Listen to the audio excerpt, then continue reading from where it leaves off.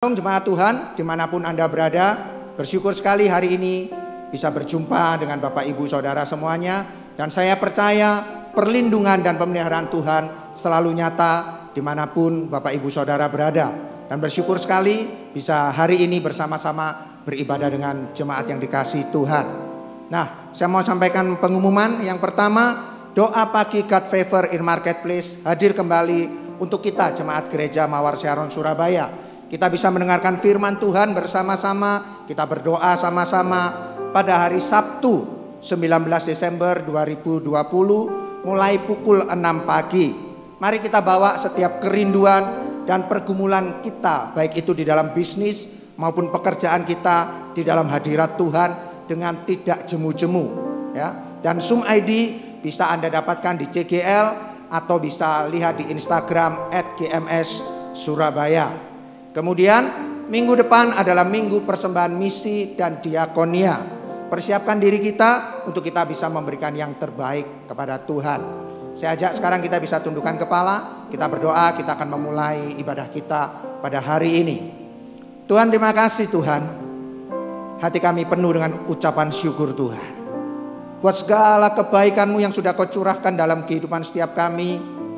Kami percaya kalau kami masih hidup, itu semata-mata oleh karena pemeliharaanmu. Semata-mata oleh karena perlindunganmu itu nyata bagi setiap kami. Engkau jauhkan kami dari setiap mara bahaya. Kau jauhkan kami dari setiap penyakit, COVID-19 dan lain sebagainya Tuhan. Kami percaya Engkau Allah yang hidup bagi setiap kami Tuhan. Oleh karena itu Tuhan kami tidak pernah berhenti. Kami naikkan ucapan syukur kami kepadamu Tuhan. Terima kasih kalau hari ini juga kami boleh beribadah Tuhan Mungkin kami beribadah online Tuhan, tapi biar hati kami, sikap hati kami tetap sama Tuhan. Kami menghormati Engkau Tuhan. Kami mau memberikan yang terbaik kepadamu Tuhan. Lewat pujian kami, ketika kami mendengarkan firman-Mu Tuhan, kami mendengarkan dengan sikap hati yang respect, yang menghormati Engkau Tuhan. Terima kasih Tuhan, terima kasih. Kami bersyukur Engkau Allah yang hidup, Engkau Allah yang ajaib bagi setiap kami. Terima kasih, kami siap Tuhan memulai ibadah kami hari ini dengan penuh ucapan syukur dan sukacita di dalam nama Tuhan Yesus Kristus. Haleluya. Amin. Shalom, mari kita sama-sama bangkit berdiri. Kita percaya kita dipilih untuk memuliakan Tuhan.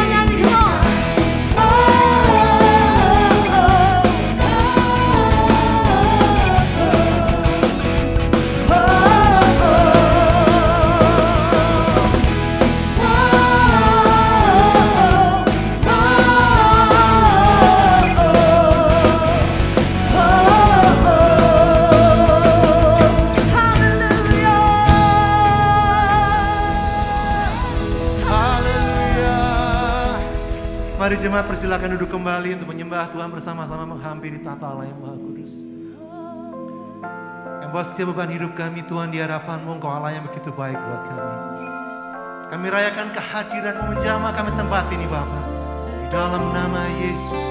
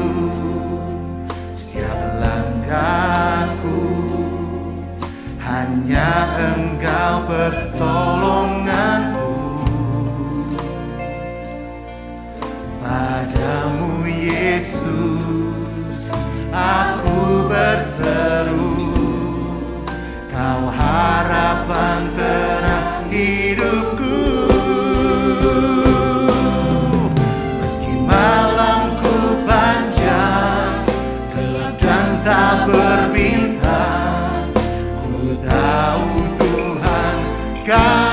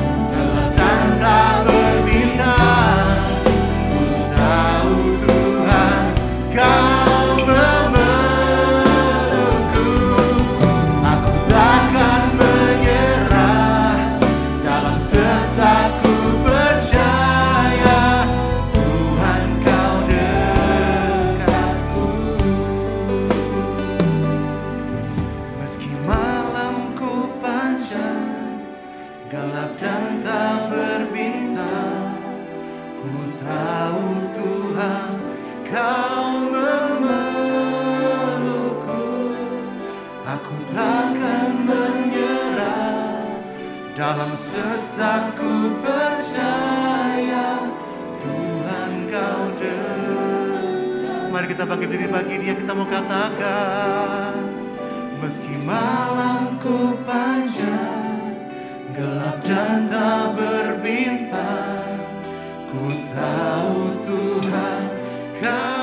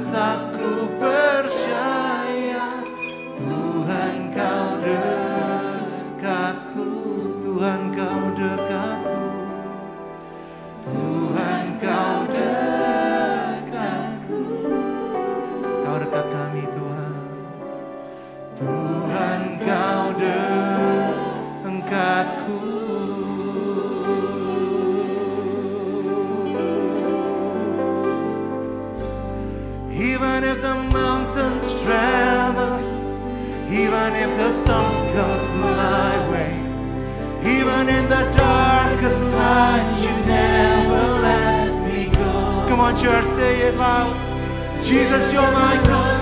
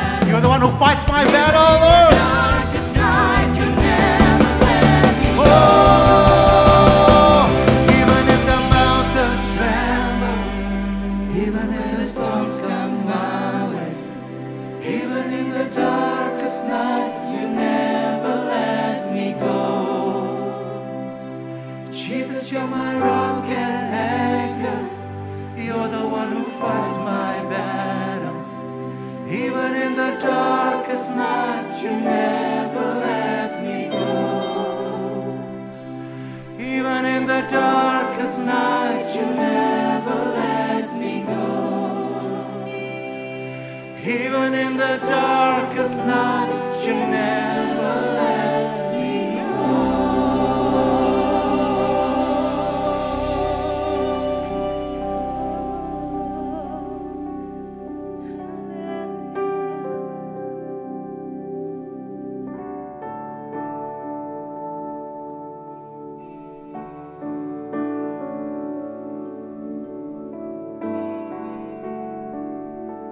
Tuhan Yesus terimalah rasa hormat syukur terima kasih kepada Engkau yang sudah berkarya sepanjang tahun ini.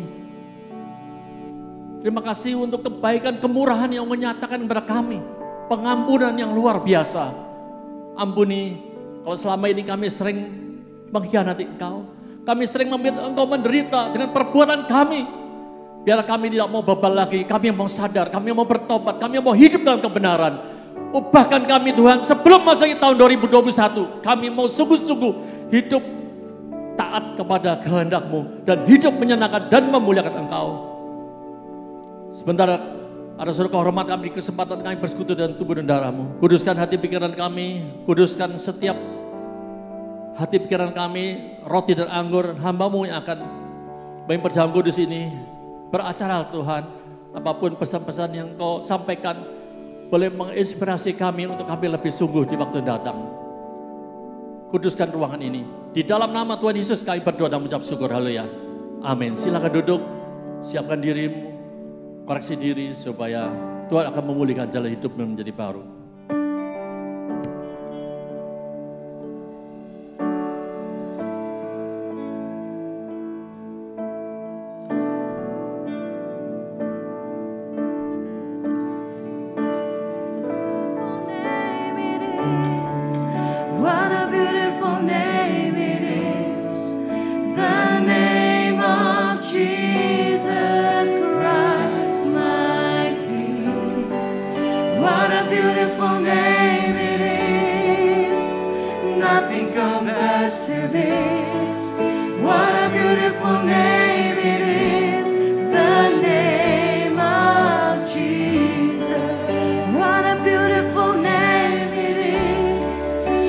What a beautiful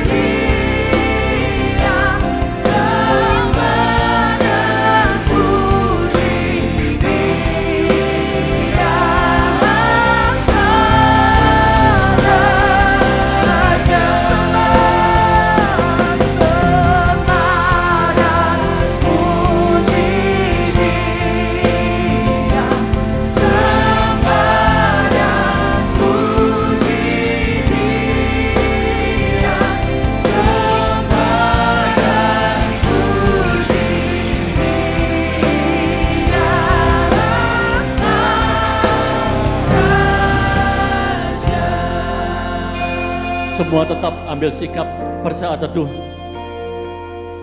Immanuel, Tuhan beserta kita. Kita beruntung, tidak terasa hampir set- setahun di penghujung akhir tahun ini kita masuk ke tahun 2021. Tuhan tahu apa yang kalian khawatirkan, kalian kan masa depan saudara. Ada berapa yang saat ini masih menderita sakit, bawaan, ekonomi lagi susah, keluarga ada masalah dan apa pun yang ada. Tapi Tuhan berkata, Allah turut bekerja sama dalam sesuatu mendatangkan kebaikan bagi setiap yang mengasihi dia. Tahun depan saya tadi waktu pujian dapatkan bahwa akan terjadi gelombang yang baru. Yang iblis tebarkan roh ketakutan, kekhawatiran, problem-problem yang ada. Tapi firman Tuhan berkata kesusahan sehari cukup sehari. Dan Tuhan sudah membiarkan hari depan yang penuh pengharapan. Tuhan sudah membiarkan gelombang yang baru tahun 2021 bersama dengan roh kudus. Ikuti aja gelombang itu dengan seperti orang berselancar. Ikuti aja sesuai dengan kemampuanmu, sesuai apa yang kau diberikan talenta dan iman yang sebiji sawi.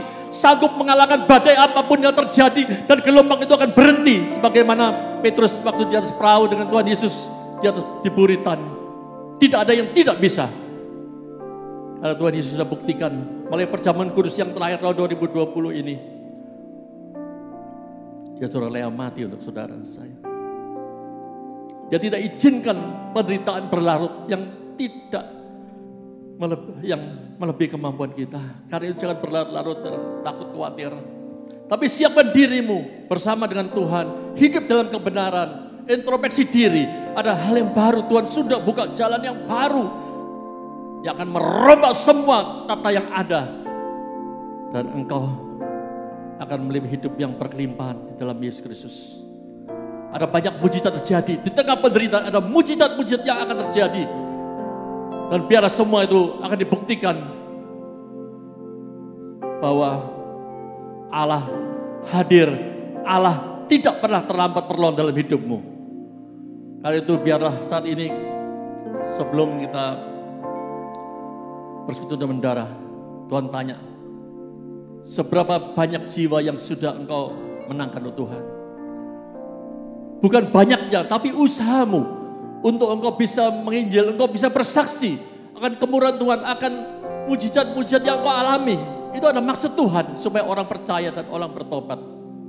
Ini saatnya kita memperbarui pola berpikir kita, karakter kita. Kembali kepada kasih yang mula-mula. Tuhan Yesus mengalami penderitaan maut. Menjadi sama dengan keadaan kita sebagai manusia. Sehingga oleh kematiannya, Yesus memusnahkan iblis dan maut. Maka ia dapat merasakan dan membebaskan kita dari penderitaan. Yesus sudah menang atas segala pencobaan. Ia dapat menolong saudara dan saya dan menyembuhkan sakit kita. Apa yang sudah engkau persembahkan untuk membalas kebaikan Tuhan? Berikan yang terbaik bagi Tuhan melalui hidupmu. Kata Yesus, akulah roti hidup. Barang siapa datang dan percaya kepadaku, engkau tidak akan lapar dan haus lagi. Jika engkau makan roti ini, engkau akan hidup selama-lamanya. Dan roti yang kuberikan ialah benar-benar dagingku yang akan kuberikan untuk hidupmu di dunia. Sesungguhnya jika engkau tidak makan dagingku dan minum darahku, engkau tidak mempunyai hidup di dalam dirimu. Barang siapa makan dagingku dan minum darahku, engkau tinggal di dalam aku dan aku di dalam engkau, engkau pasti akan menghasilkan buah yang baik. Karena itu hendaklah engkau percaya kepada Yesus yang telah diutus Allah di luar Tuhan Yesus, engkau tidak dapat berbuat apa-apa. Jika engkau menuruti perintahku, engkau akan tinggal dalam kasihku, supaya sukacitaku ada di dalam engkau, dan sukacitamu menjadi penuh. Karena itu percaya saja, hari lepas hari tetaplah berdoa, khususnya sebelum akhir tahun ini, make a wish dengan Tuhan, harapan dan kerinduan saudara. Mengucap syukur senantiasa. Jangan mengomeng mulu, engkau akan selamat. engkau akan beruntung, engkau akan bahagia. Dan hidupmu akan berubah. Bukan karena kuat gagah, tapi karena keyakinan imanmu. Tuhan beserta. Yakinlah bahwa jerih payahmu, ketekunanmu selama tahun ini tidak sia-sia. Tuhan sudah memperhitungkan satu persatu setiap pengorbananmu. Dan ada upah besar yang menanti. Tidak hanya di bumi tapi di surga. Itu untungnya kita punya Yesus yang tetap berkuasa. Yesus tetap percaya dalam hidupmu. Karena itu dia sudah mempersiapkan tahun 2021. Tetap semangat, tetap berusaha, tetap setia, tetap tekun. Allah akan melakukan mujizat demi mujizat yang di luar pengetahuan, di luar kemampuanmu. Yesus membuat segala sesuatu indah pada waktunya. Haleluya. Dia Allah yang luar biasa. Jangan engkau menyintai diri sendiri. Jangan engkau mengasihi diri sendiri. Cintai Yesus dengan segenap hati yang utama. Dan cintalah sesama manusia seperti dirimu sendiri. Mari kita bawa dalam doa. Kita semua berdoa. Tuhan, jamah aku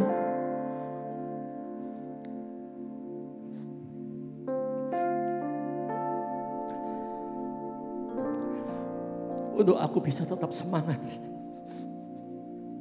dan hidup berkenan. Ampun kami untuk setia mengiring Engkau dan tidak pernah meninggalkan Engkau, tidak menyerah. Ubahkan hidupku sehingga bisa mempersembahkan tubuhku sebagai persembahan yang hidup kudus dan memuliakan Engkau. Pakailah aku dan keluargaku. Agar damai sejahtera sukacita memenuhi hatiku selalu. Silakan Tuhan berkarya. Biarlah dengan persekutuan Tuhan berdarah. Jadi kami semangat akrab dengan Engkau. Terima kasih Tuhan. Dalam nama Tuhan Yesus. Kami berdoa dan mengucap syukur. Amin. Mari kita bangkit berdiri. Kita angkat roti yang satu ini. Hidupmu bukan kamu lagi. Tapi Kristus ada dalam dirimu.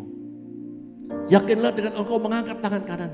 Dia sudah menang dan engkau diciptakan menjadi lebih dari pemenang. Kuatkan teguhkan hatimu. Jangan goyah. Kalau Allah di pihakmu, siapa lawanmu? Covid, ekonomi dan apa pun akan dilipas habis tepat pada waktunya. Dan dia akan meluputkan engkau. Karena dia sayang saudara. Untuk itu dia rela mati untuk saudara. Kalau engkau percaya, hidupmu sangat berarti. Hidupmu bisa berdampak kepada manusia, kepada Allah dan samanya. Mari makanlah dengan iman dan percaya di dalam nama Tuhan Yesus Kristus.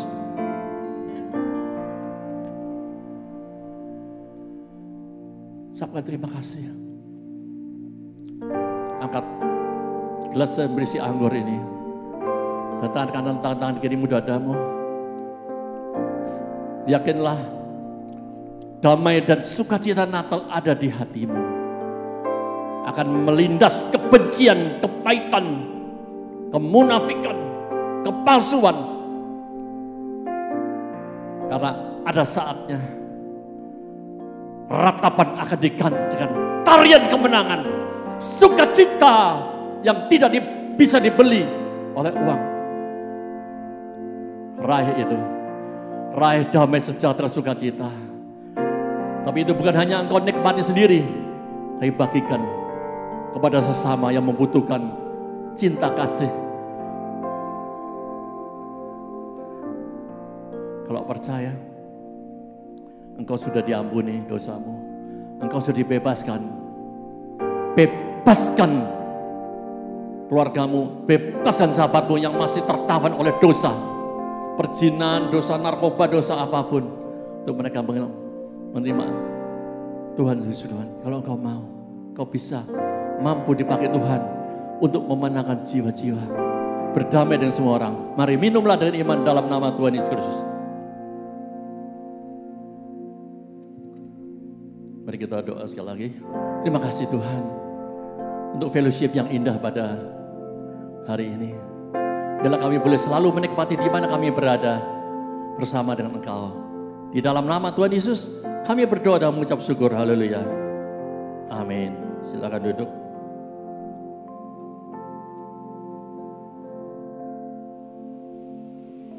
Sekali lagi saya ajak kita tundukkan kepala, kita berdoa. Terima kasih Tuhan Buat hari ini, buat persekutuan dengan tubuh dan darahmu Tuhan. Kami tahu Engkau mati, Engkau bangkit, bahkan hidup bagi kami semuanya Tuhan. Oleh karena itu Tuhan, biar kematianmu dan kebangkitanmu itu selalu nyata di dalam kehidupan setiap kami. Supaya hidup Kristus itu senantiasa memancar keluar dari dalam kehidupan setiap kami. Supaya kami boleh menjadi terang, membawa dampak di tengah-tengah dunia Tuhan. Mereka melihat Yesus lewat kehidupan setiap kami. Oleh karena itu Tuhan, kami akan mengakui Engkau di dalam setiap tingkah laku kami Tuhan. Dan kau yang akan terus meluruskan jalan-jalan kami. Supaya kami tetap hidup di dalam jalan dan kebenaranmu Tuhan. Terima kasih kami bersyukur kepadamu. Dan hari ini Tuhan, kalau kau izinkan kami untuk memberikan persembahan, kami mau memberikan yang terbaik kepadamu Tuhan. Bukan cuma sekedar pemberian materi, harta, tapi seluruh hidup kami Tuhan, segenap hati kami, kami mau memberikan yang terbaik kepadamu Tuhan. Terima kasih, kami siap memberi Tuhan hanya di dalam nama Tuhan Yesus Kristus. Haleluya.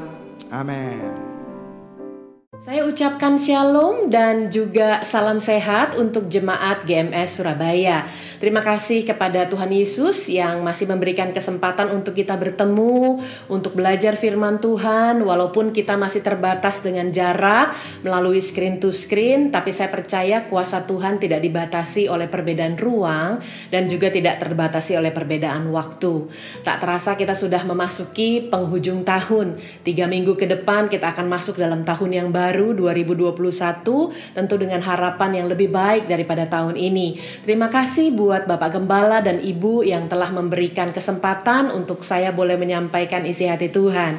Nah, kalau kita tahu bahwa sepanjang tahun ini ada kepekaan yang diterima oleh Bapak Gembala sehingga memiliki sebuah uh, tema tahunan yang menjadi panduan kita bersama pemurnian untuk pertumbuhan atau purified for growth. Ini sebetulnya adalah sebuah tema yang begitu bagus, begitu dalam, tapi kita sekarang menyadari bahwa inilah yang dibutuhkan di masa-masa prihatin pandemi ini. Justru di saat inilah kita diberikan kesempatan untuk berbenah diri, untuk introspeksi diri, di mana kita semua sedang bekerja dari rumah, belajar dari rumah, bahkan beribadah dari rumah dengan church online ini. Di sinilah tempat kita mengalami pemurnian supaya kita tetap bisa bertumbuh untuk hormat kemuliaan nama Tuhan. Nah, saya uh, telah menyiapkan grafik untuk bagaimana bentuk 2020 yang ditarik oleh seseorang terasa begitu berat luar biasa, tapi tak terasa juga begitu cepat.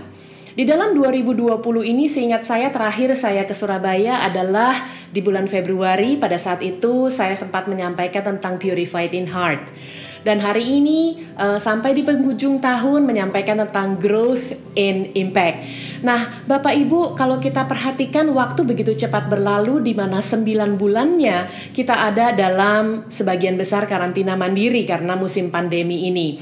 Tetapi kalau kita lihat di dalam satu tema besar, Purified for Growth, sebelah kiri itu setengah semester sudah dipakai untuk membahas segala sesuatu yang berhubungan dengan purified atau pemurnian.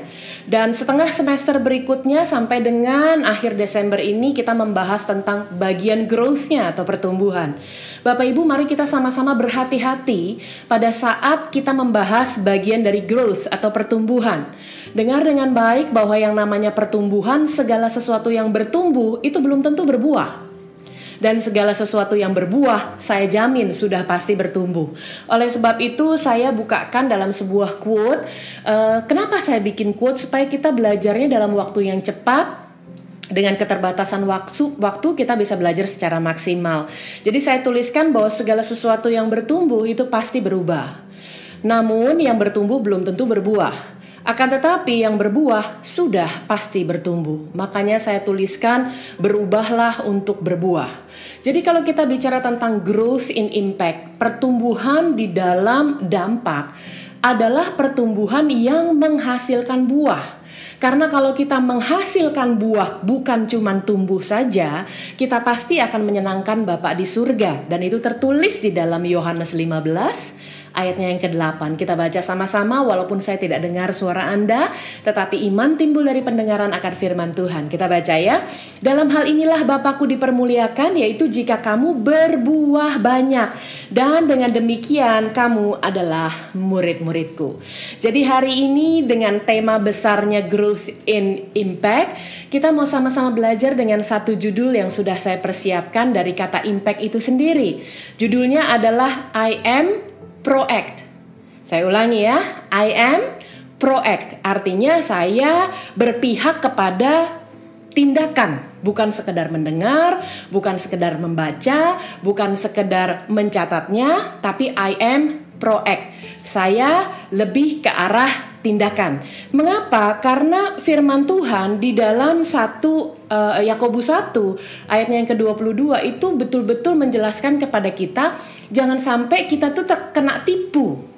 Bapak Ibu Anda tahu hari-hari ini kita harus waspada penipuan, betul?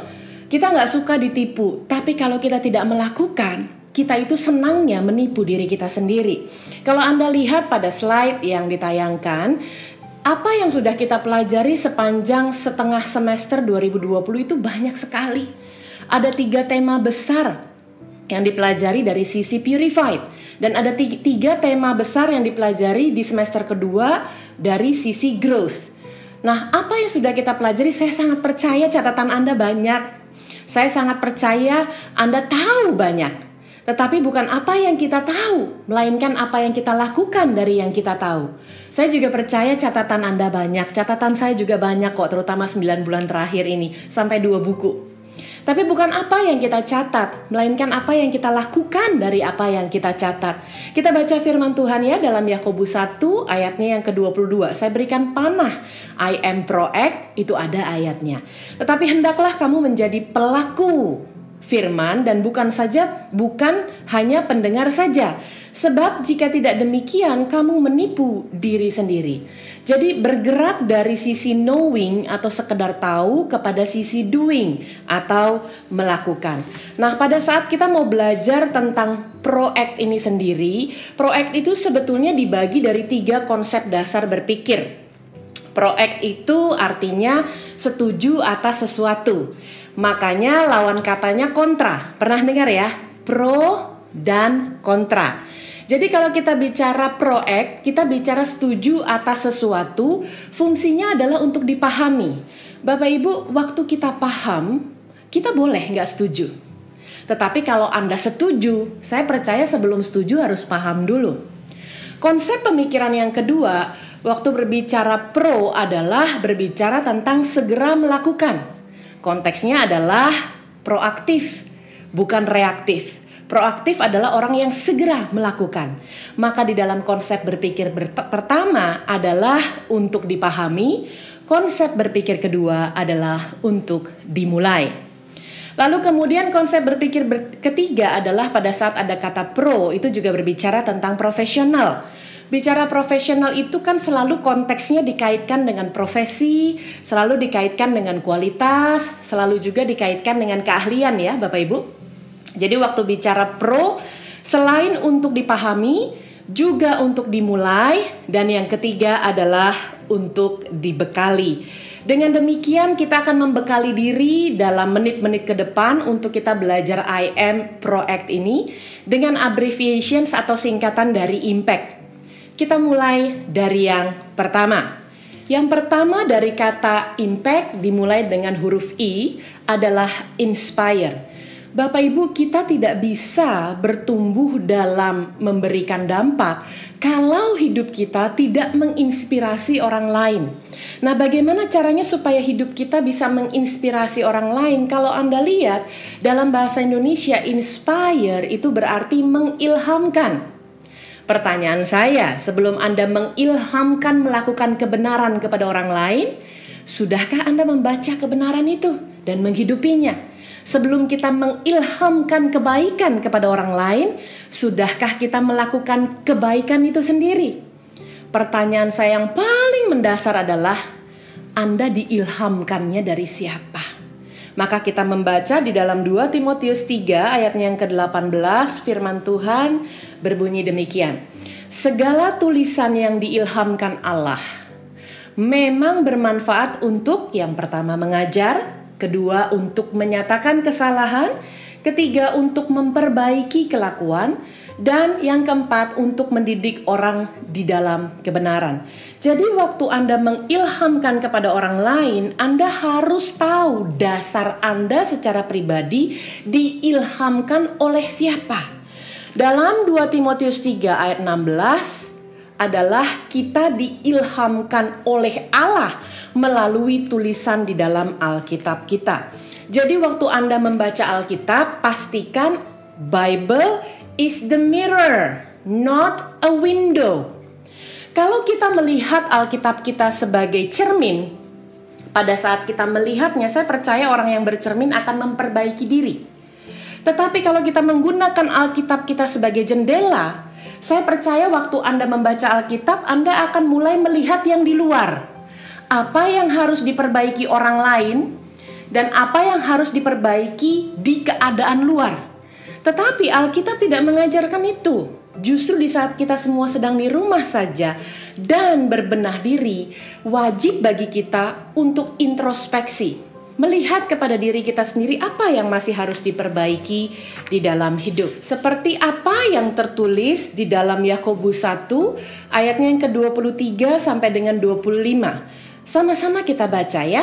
Sebab jika seorang hanya mendengar firman saja dan tidak melakukannya, ia adalah seumpama seorang yang sedang mengamat-amati mukanya yang sebenarnya di depan cermin. Baru saja ia memandang dirinya, ia sudah pergi atau ia segera lupa bagaimana rupanya.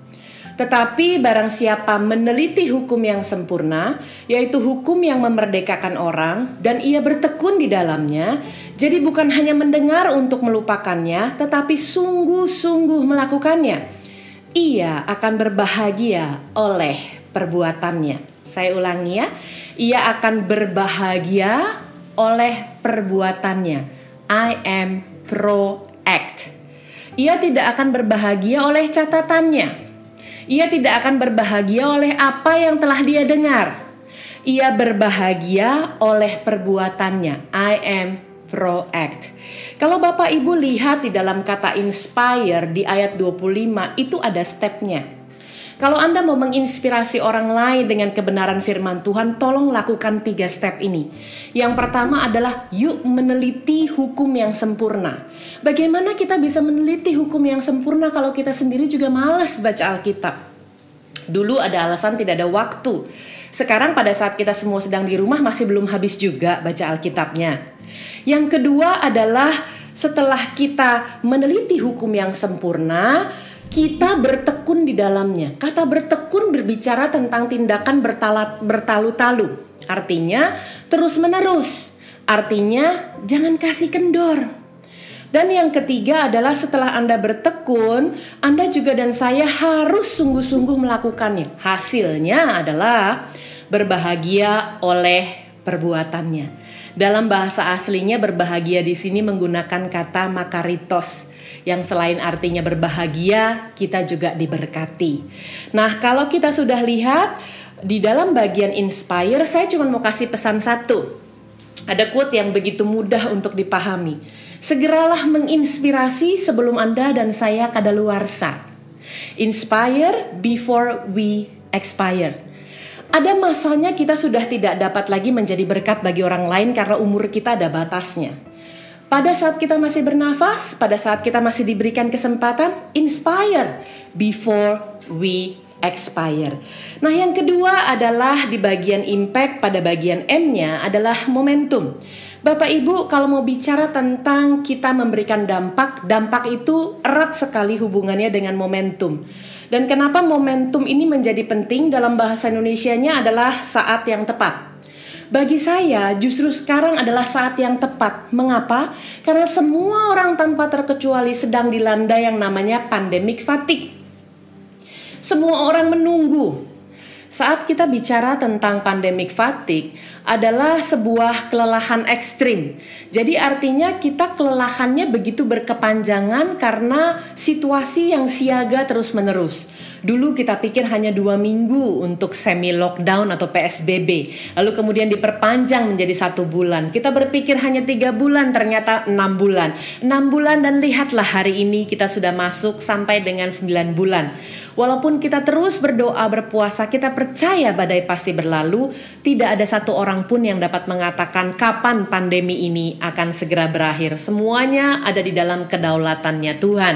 Dan oleh sebab itu waktu kita belajar tentang sangat kelelahan atau ekstrim tiredness ini, Matius 11 ayat 28 sebetulnya adalah jawabannya. Sebab Tuhan berkata, "Marilah kepadaku semua yang letih, lesu dan berbeban berat, aku akan memberikan kelegaan kepadamu." Jadi waktu bicara tentang momentum, sebetulnya sekarang adalah momentum yang terbaik. Hanya saja orang suka bertanya, "Lalu saya harus memulainya dari mana?" Saya suka dengan satu buah quote yang mengatakan start where you are, use what you have, and do what you can. Nah, kita kebanyakan itu berpikir kita tidak bisa berdampak. Karena kita berpikir kita terlalu kecil. Bapak Ibu dengar dengan baik nyamuk yang kecil saja bisa memberikan dampak yang besar. Kalau kita bicara impact, kita bicara dampak bisa berdampak negatif, bisa juga berdampak positif. Tetapi Tuhan itu luar biasa. Dia selalu investasi terlebih dahulu untuk Anda dan saya, baru kita akan dipakai untuk hormat kemuliaan namanya melalui investasi yang sudah Tuhan tanamkan. By the way, Anda dan saya itu mahal harganya. Kita dibayar di atas kayu salib dengan karya salibnya. Kita baca sama-sama 2 Korintus 8 ayat yang ke-12 dengan keras. Sebab jika kamu rela untuk memberi, maka pemberianmu akan diterima. Amin. Kalau pemberianmu itu berdasarkan apa yang ada padamu, bukan berdasarkan apa yang tidak ada padamu. Jadi, Bapak Ibu, kalau kita bertanya kepada diri kita, terus saya harus memulainya di mana dalam momentum ini? Mulailah dari apa yang ada padamu. Itulah sebabnya pertanyaan ini menjadi pertanyaan favorit Tuhan Yesus sebelum Tuhan Yesus melakukan mujizat. Selalu dia bertanya, apa yang ada padamu? Dan itu kita bisa baca di dalam dua dari kisah di dalam Alkitab yang saya ambil sebagai referensi. Yang pertama adalah dalam perikop Yesus memberi makan 5000 orang. Saya percaya ini bukan sekali Anda dengar, berkali-kali bahkan mungkin sejak Anda sekolah minggu dulu. Yesus memberi makan 5000 orang. Di ayatnya yang ke-17 kita tidak membaca satu perikop, itu ada di ayat 13 sampai dengan 20. Saya hanya mengambilnya di ayat 17. Waktu Tuhan tanya apa yang ada padamu, jawaban manusia itu selalu berkata begini. Jawab mereka yang ada pada kami di sini hanya, saya garis bawahi kata hanya. Kebiasaan kita adalah insecure. Kita nggak percaya kita sanggup, makanya menggunakan kata hanya. Yang ada pada kami di sini hanya, cuma ini, hanya lima roti dan dua ikan. Bahkan di dalam perikop perkawinan di Kana, kalau Anda baca dalam Yohanes 2 ayat 1 sampai dengan 11, itu kita bicara tentang apa yang ada padamu, baru mujizatnya itu dilakukan. Yang ada saat itu adalah tempayan yang kosong karena anggurnya sudah habis. Karena nggak ada anggur, adanya air. Dan air yang diisi ke dalam tempayan yang kosong itu, mujizat terjadi dari apa yang ada padamu.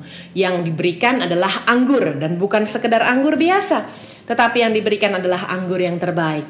Demikian juga waktu Tuhan Yesus memakai Musa. Tuhan Yesus bertanya kepada Musa. Ini ada satu perikop keluaran 4 ayat 1 sampai 17 dibaca ya nanti setelah ibadah ini. Di ayat 2 Tuhan berfirman kepadanya, Apakah yang ada di tanganmu itu? Jawab Musa, tongkat. Anda tahu kisah tongkat Musa. Diangkat bisa membelah lautan, pada saat tongkat itu ditaruh di uh, bawah, dia berubah menjadi ular, dipegang lagi di salah satu ujungnya kembali menjadi tongkat. Saya mau katakan Musa adalah orang yang penuh dengan keraguan. Makanya pertanyaan Tuhan ke Musa, apa yang ada padamu? Oleh sebab itu kita harus yakin dan percaya pada saat kita sudah diinvestasikan banyak oleh Tuhan, maka Filipi 4 ayat 13 benar-benar akan digenapi dalam kehidupan kita. Bahwa segala perkara dapat kutanggung di dalam dia yang memberi kekuatan kepadaku. Segala perkara loh ya Bapak Ibu, pandemi berarti termasuk.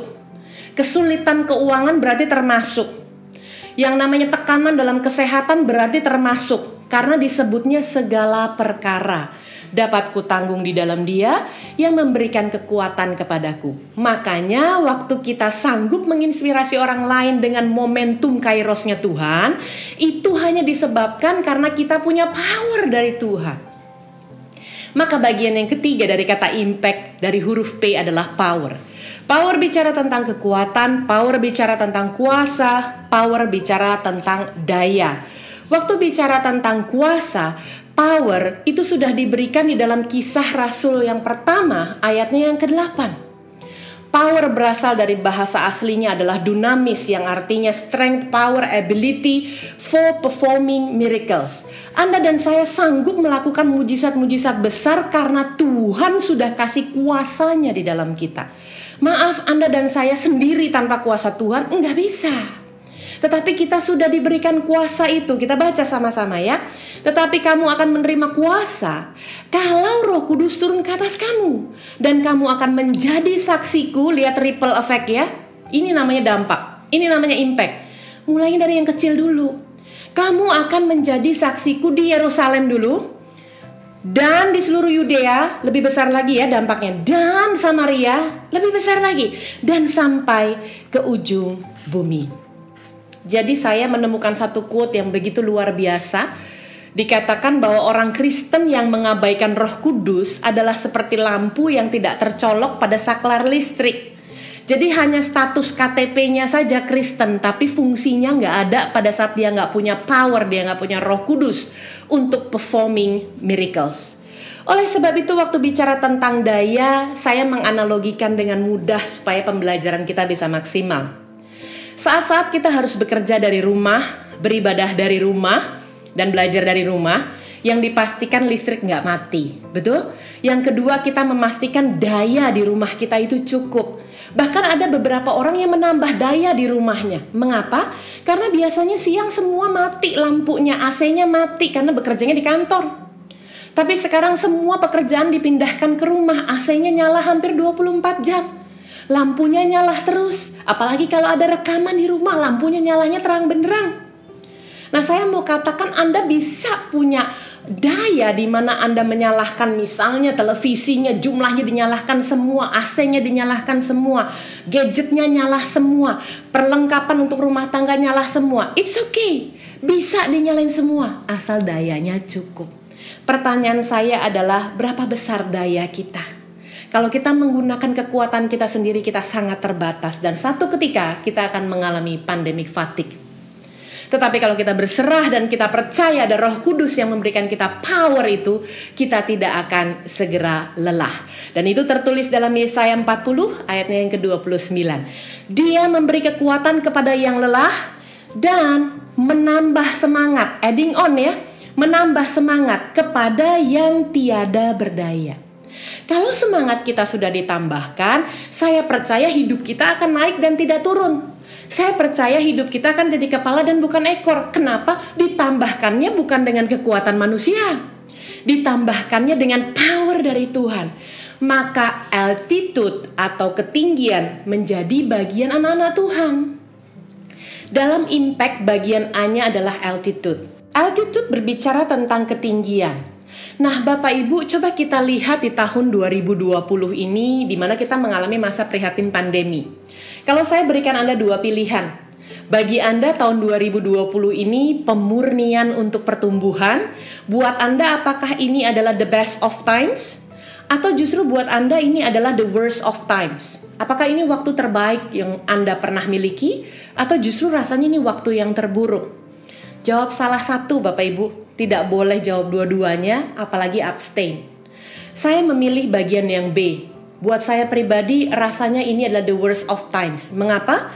Karena saya belum pernah mengalami pandemi sebelumnya. Pandemi siklusnya ratusan tahun. Dan saya belum pernah mengalami hal yang betul-betul beyond my control sekarang. Sampai kapan pun saya belum tahu. Saya yakin, saya percaya, saya doa, saya puasa. Tapi tidak ada satu orang pun expert dalam bidang ini karena ini adalah COVID-19 sesuatu yang baru. Bapak Ibu, tetapi yang perlu kita ketahui, some of life best lessons are learned at the worst time. Justru ya, pembelajaran yang terbaik banget di dalam hidup itu terjadinya kadang-kadang di dalam waktu yang terburuk. So it's okay kalau Anda mengalami the worst of times now, tetapi Anda mengakhirinya dengan best lesson.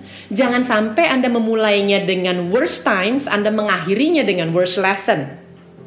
Makanya di dalam ulangan 28 ayat 13 14 berkata Tuhan akan mengangkat engkau menjadi kepala dan bukan menjadi ekor.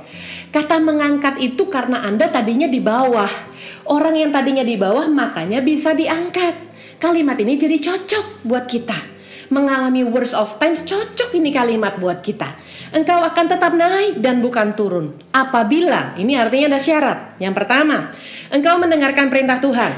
Allahmu. Yang kedua, yang kusampaikan pada hari, hari ini kau lakukan dengan setia. Dan yang ketiga, dan apabila engkau tidak menyimpang ke kanan atau ke kiri dari segala perintah yang kuberikan kepadamu pada hari ini, dengan mengikuti Allah lain dan beribadah kepadanya. Jadi ya, kalau saya bukakan dua grafik, karena buat saya picture speaks thousand words, Anda memilih A atau B.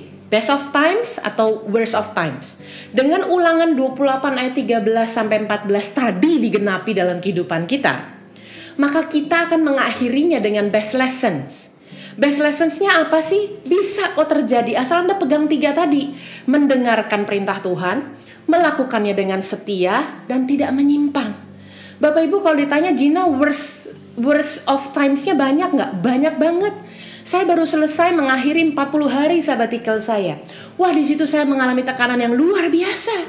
Rasanya seperti keset diinjak-injak. Tapi best lessonnya adalah justru menjadi keset itu saya membersihkan apa yang dari luar tidak boleh masuk ke dalam hati ini.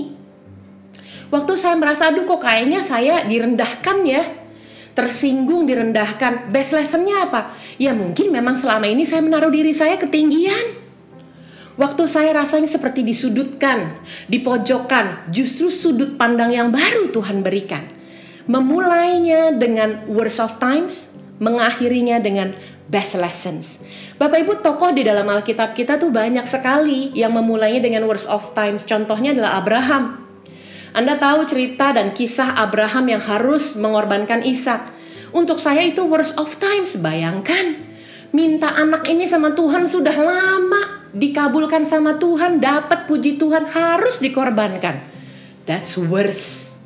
Tetapi apa yang dilakukan Abraham tiga hal tadi, Abraham mendengarkan perintah Tuhan, Abraham melakukan dengan setia. Dan Abraham tidak menyimpang sama sekali. Apa best lessonnya buat Abraham? Dalam Roma 4 ayat 11, Abraham disebut bapak orang beriman. Itu best lessonnya. Di dalam Roma 4 ayat 17 disebutkan Abraham adalah bapak banyak bangsa. That's the best lesson. Bahkan yang ketiga di dalam Yakobus 2 ayat 21 sampai 23 itu Abraham disebut sebagai sahabat Allah. Siapa lagi tokoh di dalam Alkitab kita yang mengalami worst of times? Wah, kalau bicara worst of times, penderitaan penuh itu dialami Ayub. Ayub tuh kena semua aspek Bapak Ibu dalam perihal perekonomian Ayub abis-abisan. Dalam keharmonisan rumah tangga berantakan luar biasa. Dalam keadaan fisiknya Ayub itu memiliki penyakit kulit yang gatelnya luar biasa nggak bisa digaruk biasa. Harus pakai beling menggaruknya otomatis berdarah, otomatis pasti agak berbau. Makanya dalam bidang sosial pun dia dikucilkan karena orang mengira dia itu terkena tulah. Habis semuanya, bahkan istrinya berkata engkau mengutuki saja Allahmu. Jadi abis-abisan Ayub itu worst of times-nya adalah ujian penderitaan. Tapi best lesson buat Ayub itu apa? Di Ayub 1 ayat 1 Ayub disebut orang saleh. Ayub lah yang disebut orang jujur. Dan di dalam Yakobus 5 ayat 11 waktu menjelaskan tentang penderitaan di dalam Kristus gitu ya orang akan mereferensikan masalah ataupun keadaan ketekunan itu pasti referensinya akan ke Ayub. Bagaimana dengan kehidupan kita? Oleh sebab itu kalau kita sudah masuk dalam inspire, momentum, power, altitude, sekarang kita memiliki yang namanya Christ-like character atau karakter yang menyerupai Kristus.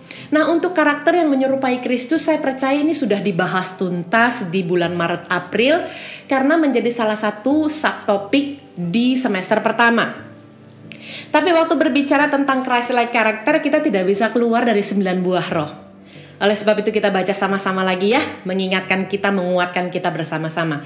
Galatia 5 ayat ke-22 sampai dengan 23. Tetapi buah roh ialah kasih, sukacita, damai sejahtera, kesabaran, kemurahan, kebaikan, kesetiaan, kelemah lembutan, penguasaan diri. Tidak ada hukum yang menentang hal-hal itu. Coba kita buat dalam perenungan kita satu persatu dari sembilan buah tersebut. Pertanyaannya adalah apakah selama sembilan bulan masa pandemi ini kita telah menjadi pribadi yang lebih baik, memiliki kasih Kristus yang nyata, atau lebih banyak ngambeknya? Lebih lemah lembut atau lebih cepat tersinggung? Lebih murah hati atau lebih hitung-hitungan? Oleh sebab itu kita bertanya kepada diri kita sendiri karena kita pegang janji Tuhan Bapak Ibu. Roma 8 ayat 28 itu berlaku untuk segala situasi. Kita tahu sekarang bahwa Allah turut bekerja dalam segala sesuatu. Ya pandemi termasuk dong. Untuk mendatangkan kebaikan. Pertanyaan saya 9 bulan kita jadi orang lebih baik gak? Kalau enggak ayat ini jadi nggak berlaku dalam kehidupan kita. Bagi mereka yang mengasihi dia, yaitu mereka yang terpanggil sesuai dengan rencana Allah. Kalau kita sudah memiliki Christ-like karakter tersebut, saya sangat percaya transformasi akan terjadi dalam kehidupan kita sebagai bagian yang terakhir dari kata impact. Transformasi itu sama seperti menjatuhkan batu di atas air. Akan terjadi gelombang riak sebagai dampaknya atau sebagai impactnya. Begitu batunya masuk ke dalam, kalau Anda lihat dalam animasi yang saya sertakan, mulailah terbuka lingkaran pertama. Masih ingat tadi? Yerusalem, Yudea, Samaria, sampai ke ujung bumi. Ini bicara dampak. Jadi waktu kita itu betul-betul mengalami pemurnian di masa sulit ini untuk pertumbuhan, pertumbuhan kita itu berbuah dan waktu kita berbuah, automatically kita memberikan dampak. Nah, transformasi sendiri punya arti perubahan yang berkualitas yang harus dimulai dari dalam. Artinya dimulai dari dalam Anda pergunakan Alkitab ini sebagai cermin, bukan sebagai jendela. Your Bible is your mirror, not a window. Anda beresin diri Anda dulu sendiri. Karena kalau Anda sudah selesai dengan diri Anda sendiri, saya percaya Anda akan menginspirasi banyak orang. Nah, lalu kemudian setelah kita beres dari dalam, maka dia akan berdampak. Impactnya akan ada keluar. Dengan demikian, I am proact selesai dan kita sudah mengakhiri dalam tiga minggu lagi menutup tahun 2020 kita tentu harus dengan ucapan syukur even though Anda menjawab is a best of times atau the worst of times yang penting kita memperoleh best lessons dan saya percaya lewat 9 bulan masa pandemi di tahun 2020 yang kita rasakan bersama-sama itu semua akan mendatangkan kebaikan. Kita sudah memahami di bagian konsep berpikir pertama dari proact. Kita juga sudah memulai karena kita nggak bisa kalau baca firman jadi denger aja tanpa melakukan kita menipu diri kita sendiri dan yang ketiga kita sudah dibekali dengan impact tadi sehingga bekal ini kita bawa untuk tiga minggu ke depan masuk di 2021 dengan hati yang mengucap syukur, dengan harapan yang baru, dengan doa yang bertalu-talu, tetap tekun dan tetap melayani Tuhan. Tuhan Yesus memberkati. Kita tundukkan kepala dan berdoa. Bapa dalam surga, hamba selesai. Terima kasih buat waktu yang Tuhan berikan untuk kami boleh belajar Tuhan hari ini. Bukan hanya kami memahami, kami janji kami mau memulainya Tuhan. Dan kami juga mau untuk membekali diri supaya kami siap masuk 2021 yang kami yakin, imani dan percaya akan jauh lebih baik daripada 2020. Sebab kami memegang janjimu dalam ulangan 28 ayat 13-14. Hidup kami akan tetap naik dan tidak turun jadi kepala dan bukan ekor. Berkati gerejamu, berkati setiap jemaatmu, berkati Tuhan dan perlindunganmu sempurna. Terima kasih buat hari ini kami mengucap syukur. Hai di dalam nama Tuhan Yesus Kristus Allah yang hidup yang kami sembah, kami alaskan doa ini. Haleluya. Amin. Tuhan Yesus memberkati. Saya percaya firman sudah berlalu tapi Roh Kudus akan melaksanakan apa yang jadikan Bapa dan berhasil menjadi titanya. Jadikan kami menjadi pelaku firman, jadikan kami menjadi pribadi yang lebih baik lagi. Jadikan kami untuk mengalami pertumbuhan yang berkualitas. Roh Kudus berikan hikmat, kekuatan, semangat supaya kami bertumbuh berbuah lebat. Ini momentum untuk kami bisa menginspirasi banyak orang untuk mereka dibenarkan bagi Engkau. Angkat kedua tanganmu, terimalah urapan yang baru. Roh hikmat, marifat, hikmat, akal budi, pewahyuan-pewahyuan yang akan nyatakan untuk menjadi bekal engkau di tahun yang akan datang. Untuk engkau memiliki iman yang teguh. Untuk engkau tetap Tuhan berikan semangat. Roh yang menyala-nyala di dalam melayani engkau. Roh menyala-nyala untuk tidak pandang menyerah. Terimalah kekuatan yang baru dari Tuhan. Harapan baru. Kesehatan. Tuhan akan luputkan dari virus COVID. Berkati rumah tangga keluargamu penuh rukun dan bahagia. Berkati pekerjaanmu, berkati pelayananmu, berkati studimu. Apa yang menjadi kebutuhanmu. Sandang pangan papan, masa hidup keturunan, pekerjaan, keuangan, dan apa pun yang menjadi kebutuhanmu, Tuhan akan mencukupkan tepat pada waktunya. Seroh takut khawatir, roh galau kami patahkan di dalam nama Yesus. Untuk engkau berani melangkah bersama Tuhan tahun 2021, tahun yang penuh berkemenangan, tahun kesuksesan, tahun ada harapan yang baru akan melangkah bersama engkau. Tuhan selalu menyerah hidupmu. Sertai sepanjang minggu depan juga akhir tahun mampukan kami Tuhan untuk kami banyak berdoa untuk kami memiliki harapan yang baru bersama engkau make a wish setiap engkau dan apa yang doa-doa kami engkau dengar doa kami kami bisa melewati sebentar lagi ujung tahun dengan berhasil bersama engkau saat ini sidang kasih Tuhan terimalah anugerah kasih karunia damai sejahtera daripada Allah Bapa, Allah Putra Kudus yang selalu akan menyertai, memimpin dalam kehidupanmu. Hidup yang berkelimpahan, hidup berkemenangan, hidup yang dalam kesuksesan, hidup dalam nubuatan Tuhan mulai saat ini sampai Maranatha karena sama-sama. Amin. Tuhan Yesus memberkati.